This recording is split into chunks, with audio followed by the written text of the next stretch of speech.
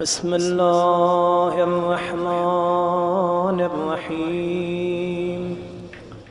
اللهم صل على محمد وآل محمد.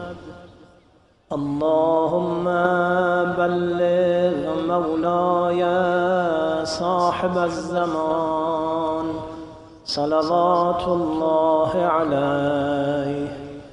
عن جميع المؤمنين والمؤمنات في مشارق الأرض ومغاربها وبرها وبحرها وسهلها وجبلها حيهم وميتهم وعن والدي وولدي وعني من الصلوات والتحيات زنة عرش الله ومداد كلماته ومنتهى رضاه وعدد ما أحصاه كتابه وأحاط به علمه.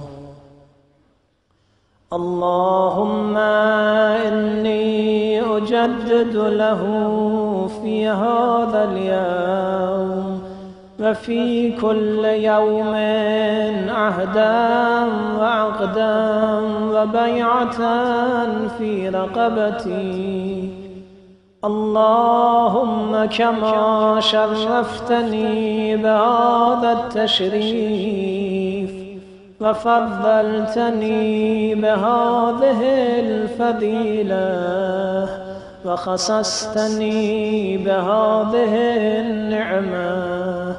فصل على مولاي وسيدي صاحب الزمان. واجعلني من أنصاره وأشياعه والذابين عنه واجعلني من المستشهدين بين يديه طائعا غير مكره في الصف الذي نعت أهله في كتابك. فقلت صفا كأنهم بنيان مرصوص. على طاعتك وطاعة رسولك وآله عليهم السلام. اللهم هذه بيعة له في عنقي إلى يوم القيامة.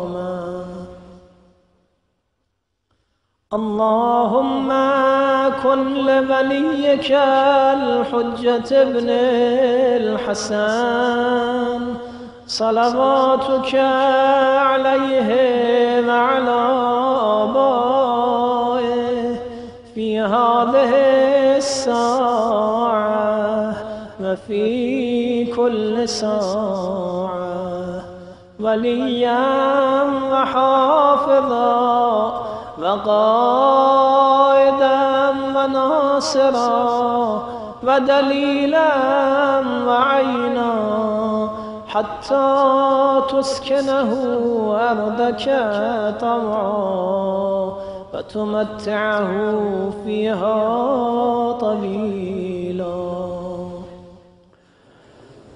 بسم الله الرحمن الرحيم. الحمد لله رب العالمين. وصلى الله على سيدنا محمد.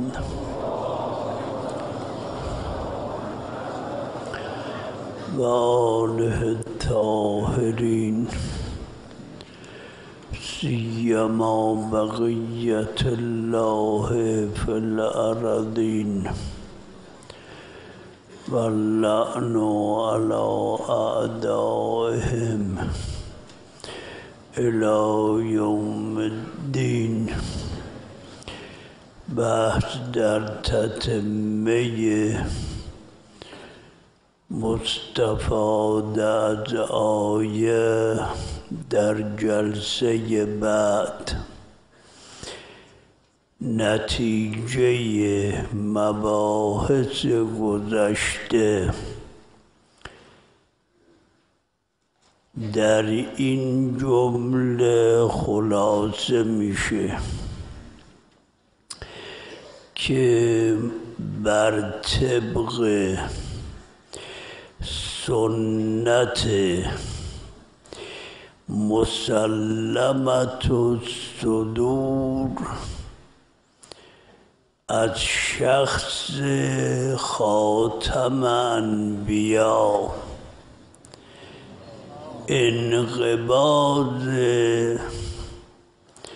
فاطمه زهرا انقباض اوست. و انبساط فاطمه زهرا. انبساط اوست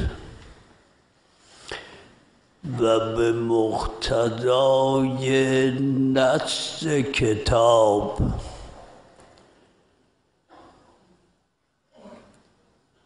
و ما آتاکم الرسول فخذوه.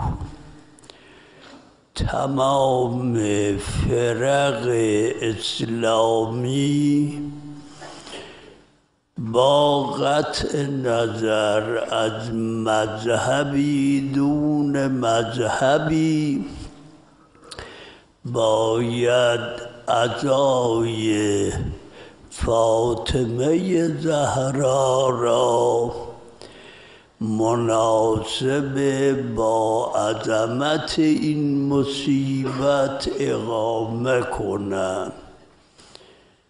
و این قضیه تعبدی نیست با قطع نظر از مذهبی و مسلکی مقتضای ایمان به خدا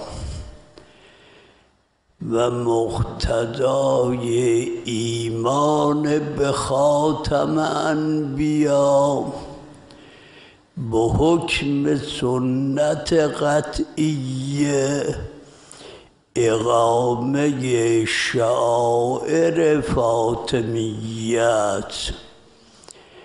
نتیجه این مباحث اینه که فاطمیه متعلق به شیعه نیست بلکه تعلق دارد به هر کس که ایمان به قرآن و سنت رسول داره. قهرن باید در انقباض خاتم منقبض باشه و در انبساط او منبسط. این قضیه از غذایایی است که قیاساتها معها. منتها وظیفه دو طائفه سنگینتره یکی وظیفه علما. و خواص مسلمین که دقایق کتاب و سنت رو می‌فهمند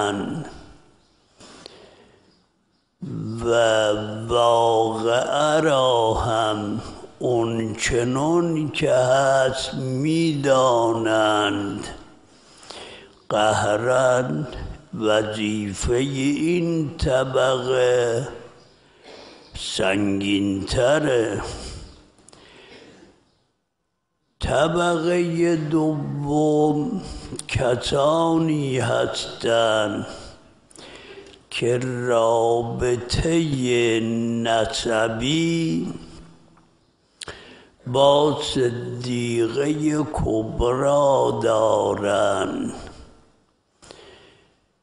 و در زمره اولاد او شمرده میشن.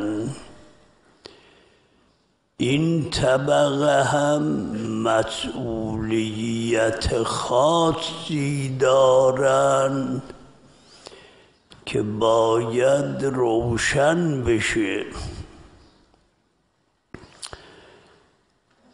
اما عظمت مصیبت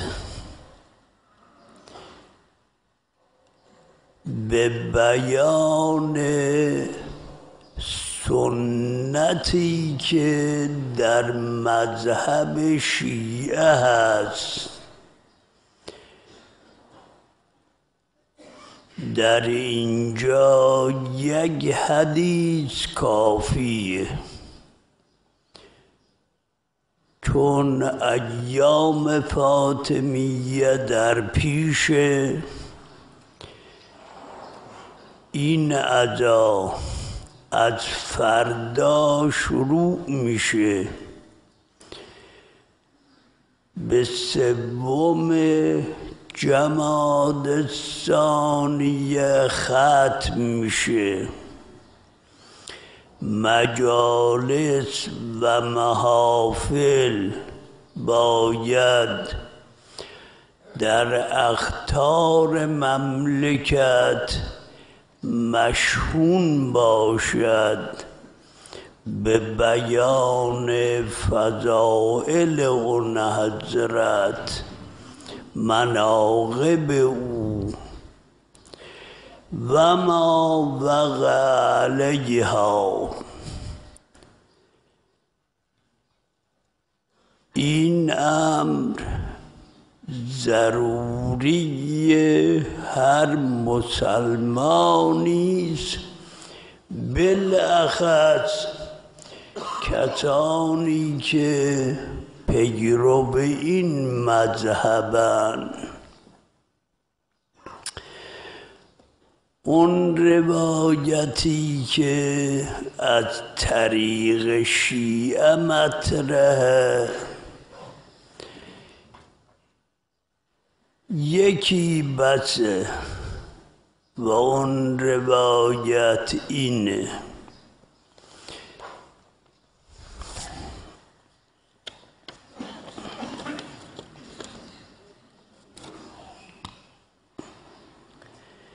أبي عن ابن محبوب عن ابن راب عن أبي عبيد عن أبي عبد الله. این سند از نظر فقهی برای مثل شیخ انصاری. حجت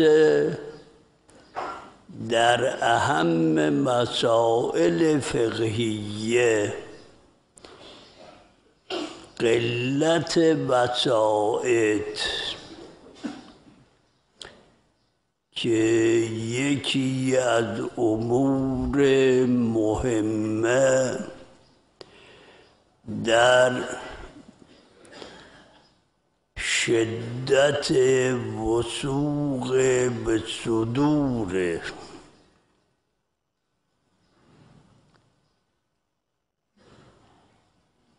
این جهت اولا جهت دوم احوال این رواد در رجال. و روایاتشون.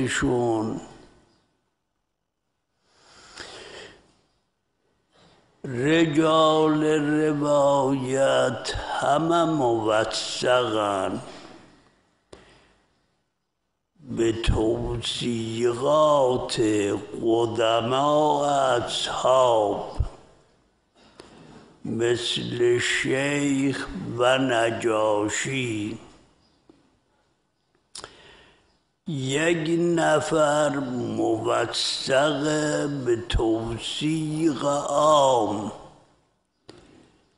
اون هم توصیق عام از شیخ توسی در عده و از علی ابن ابراهیم در تفسیر. رجال روایت هم دارای این خصوصیتن. متن روایت اینه. ان ابی عبدالله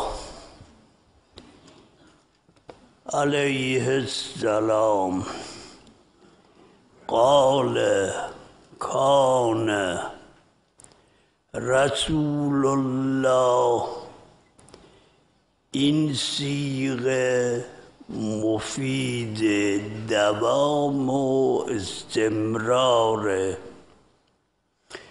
کان رسول الله کار دائمیش این بود نه تنها به نحو اتفاق کان رسول الله یکثر تقبیل فاطمه. فانکرت ذلك عائشه فقال رسول الله یا عائشه اینی لما اسری بی الى السماء دخلت الجنه فأدناني جبرائيل من شجرة توبا وناولني من ثمارها فأكلته خصوصیت روایت اینه که مایه تکون بدنی او باید در مقام ابیتو ان در ربی یطعمونی محقق بشه و این حقایق بهتاور منتها نه برای هر کسی برای اونهایی که به عظمت اسراء در اون شب واقفن و به اون قربی که اون شب محقق شد و بعد بفهمن شجره توبا چیه اوصاف اون شجره چیز شجره ای که هیچ قصری در بهش از قصور همه انبیا و امم نیست الا اینکه یک رشته از شجره توبا در اون قصره از همچنین درختی. تکوین شد اون نطفه که مبدع تکون جسمانی او بود. بعد که فرمود من به زمین آمدم و خدا از اون سمر شجره فاطمه را به من داد بیان حضرت اینه. فما قبلتها قطو. هیچ وقت قطو نشد که او را ببوسم. و بوی شجره توبا را استشمام نکنم. کسی که بدن اونه آیا روحشیه در اینجا بحث مفصلی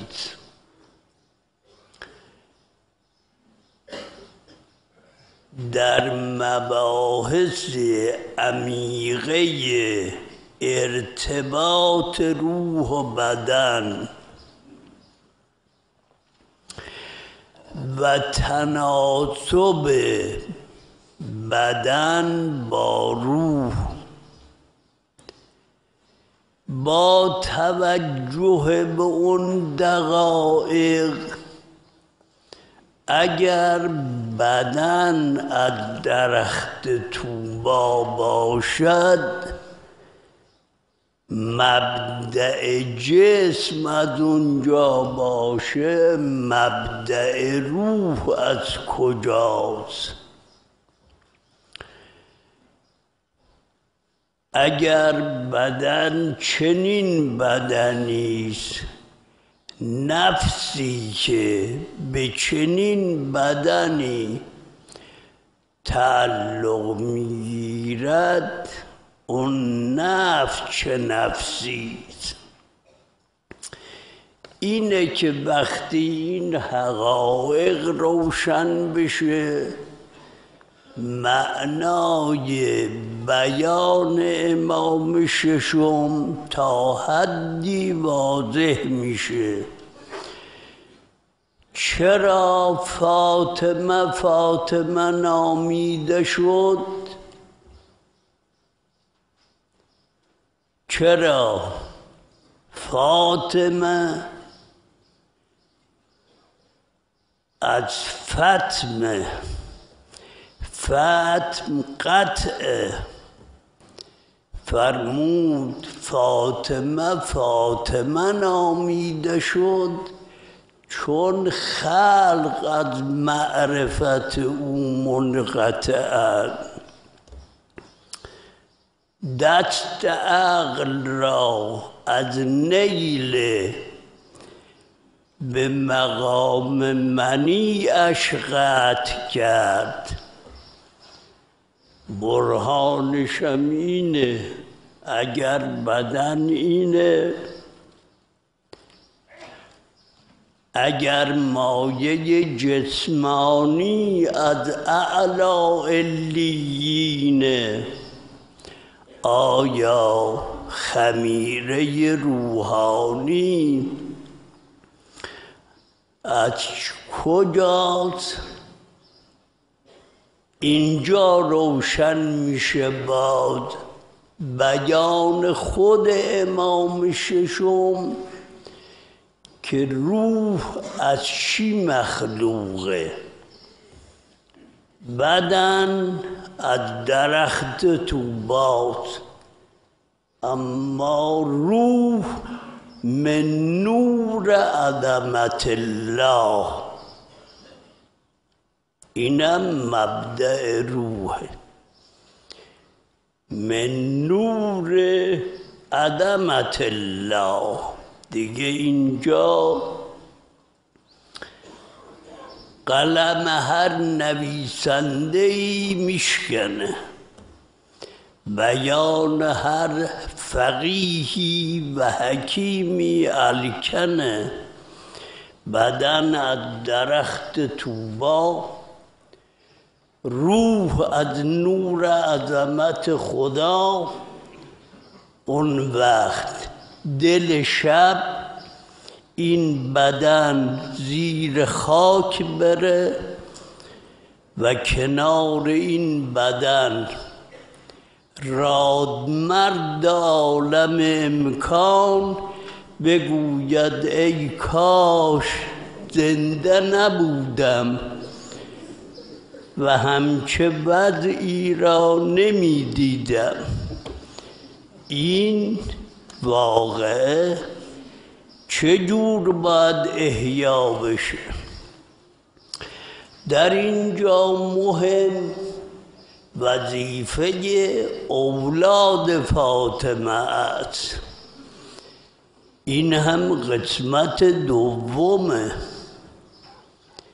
اولاد فاطمه هر کس که ولد حقیقی است باید شام غریبان اون حضرت را که روز سوم جماد ثانیه شب که شد امسال مقرره که در تمام شهرها هیئت خاص سادات باید شام غریبان بیرون بیان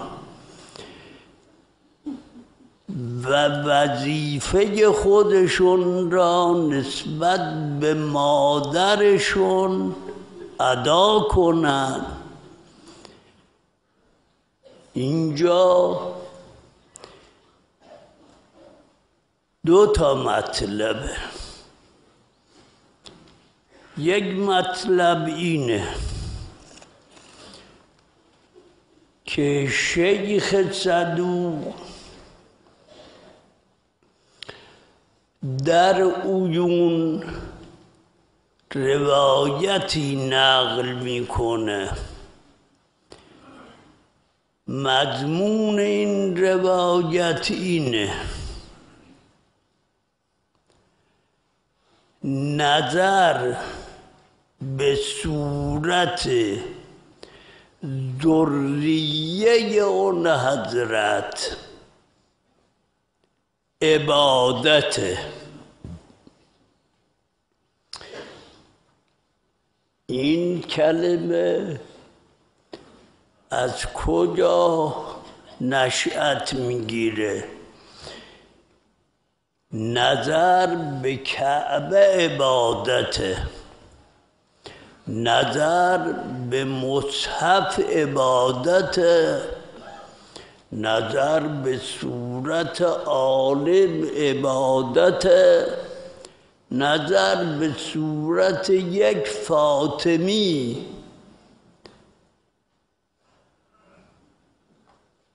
که فقط انتصاب به او داره عبادت. بعد سوال شد از امام هشتم این که نظر عبادت نظر به ائمه ذریت بیان امام اینه که این نظر به همه ذریه فاطمه است. یعنی اون سیدی که چهارده قرن بعد هم بیاد با نظر به غیافه او عبادت. این یک روایت روایت دیگر در امالی شیخ صدوقه. و اون روایت اینه که روز قیامت که میشه ظلماتی محشر رو می‌گیره. بعد که این ظلمت سیطره پیدا کرد ناگهان یک انواری در محشر ظهور می‌کنه. مردم متحیرن که اینها چه طبقن ملائکن انبیان شهدان. منادی ندا می کند انبیا نیستند شهدا نیستند اینها ذریه پیغمبر خاتمند در هر سیدی که این دو خصوصیت پیدا بشه اول از منهاج رسول خارج نشه. دوم لوس معصیت به دامنش ننشینه. این سید در دنیا نظر به صورتش عبادت میشه در قیامت هم چراغ فروزان عرصه محشر میشه. ولی همه اینها از برکت چیز؟ باید ریشه رو پیدا کرد. سادات علویین علویات. ذریه رسول که منحصرا غیر از طریق صدیقه کبرا نیست و این هم از عجایب عالمه چرا به اینجا رسیدن؟ این امتیاز منشأشیه منشأش اینه. وقتی از دنیا رحلت کرد که دیگه گفتنی نیست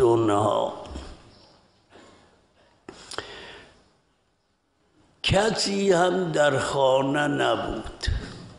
فقط اسما بود.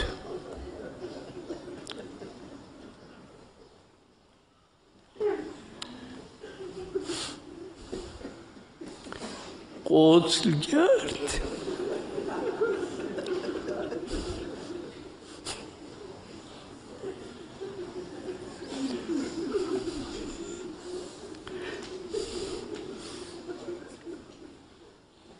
خلاصه.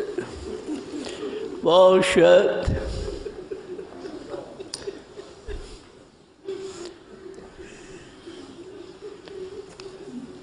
بعد دو پسر آمد.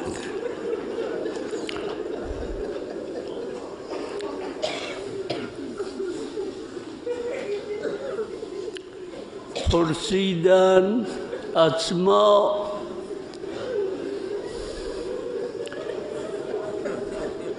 مادر ما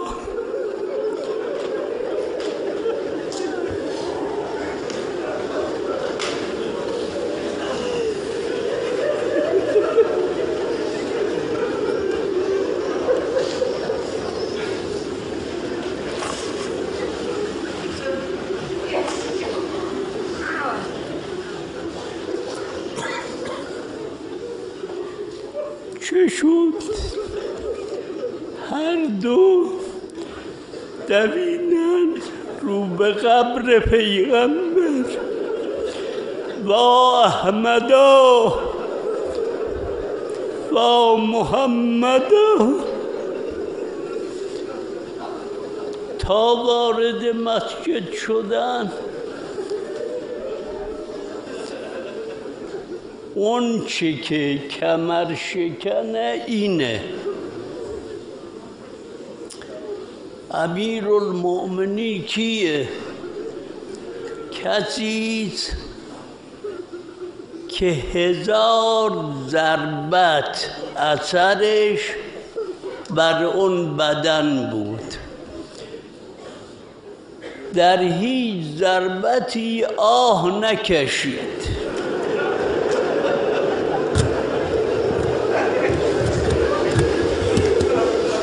اما همین که چشمش به این دو پسر افتاد قش کرد.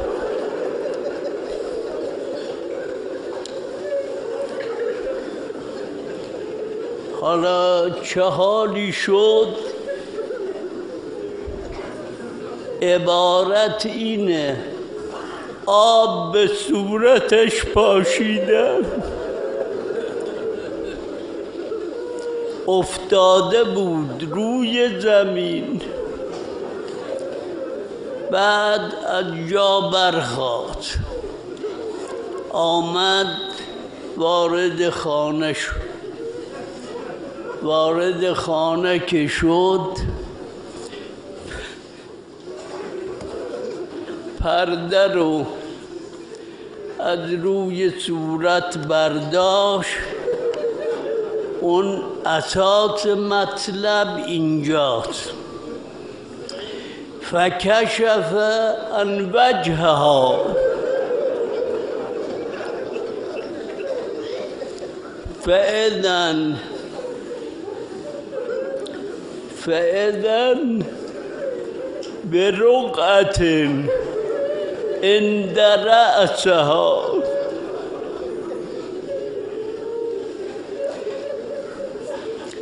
فإذا فيها بسم الله بسم الله الرحمن الرحيم. هذا ما أوست به فاطمة.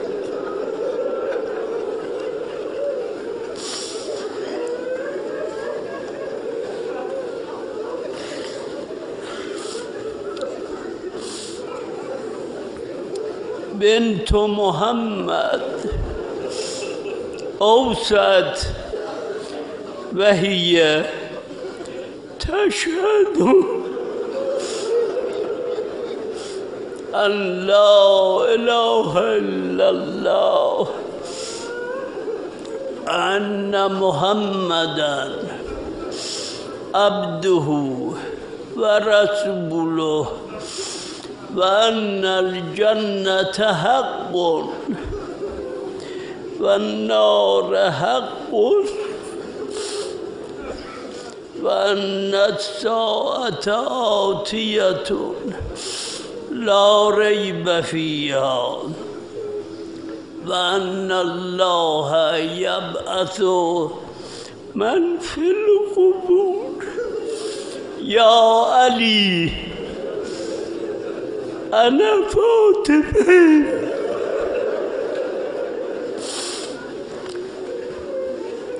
أنا فاطمة در انا فاطمه همه را گفت که من کیم. بدنم چیست؟ روحم چیست؟ انا فاطمه. بنت محمد. زوجنی الله خدا مرا تدویج به تو کرده. لأكون لك في الدنيا والآخرة أنت أولى بي من غيري. هنتني. وغسلني وكفني أما بالليل.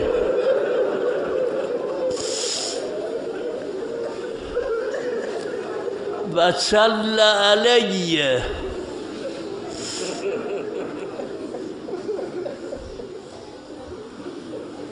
چی بوده؟ از هنوت از غسل از کفن تا برسه به دفن. همه باید نیمه شب باشه. ولا تعلم احدا.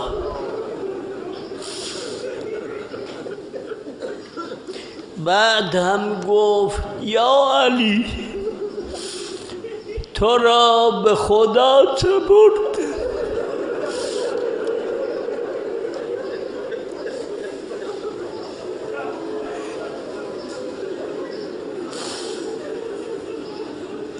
یعنی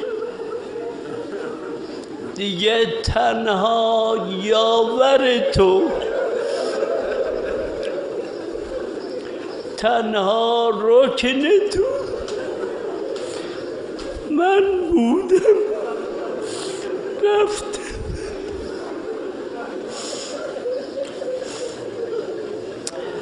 اون جمله آخرینه سادات دیگه بفهمن چه وظیفه دارن اولا علویین علویات فاطمیین فاطمیات در تمام این مملکت شهادت حضرت زهرا روز سوم جماد ثانیه باید به وسیله شما برای همیشه تضمین بشه.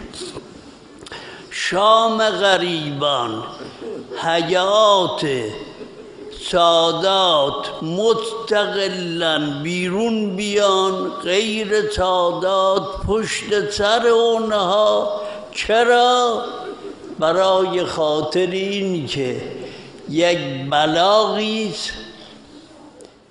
کسی تبلیغ کرده کسی واسطه تبلیغ. اون مطلبی که رسونده به شما چیه؟ ختم وصیت اینه. بقرع علا ولدی السلام القیامه به فرزندان تا روز قیامت سلام مرا برسان. معنی داره این کلمه یعنی بالا بگو. نیمه شب هنود شد کفن شد دفن شد. وظیفه همه از خوات سادات معین شد. بار الله ما را به روح صدیقه کبرا ببخش. ما را مورد نظر فرزندش قطب عالم امکان قرار بده.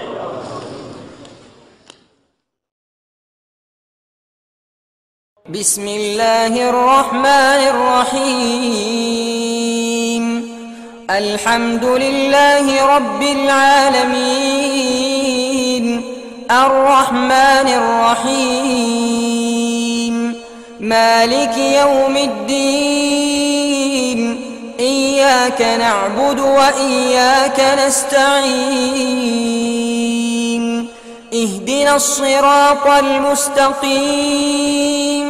صراط الذين أنعمت عليهم غير المغضوب عليهم ولا الضالين.